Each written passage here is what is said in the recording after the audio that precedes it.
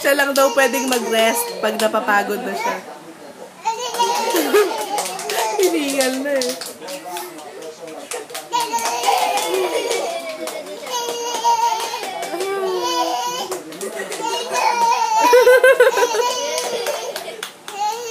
Yaya, ama siya.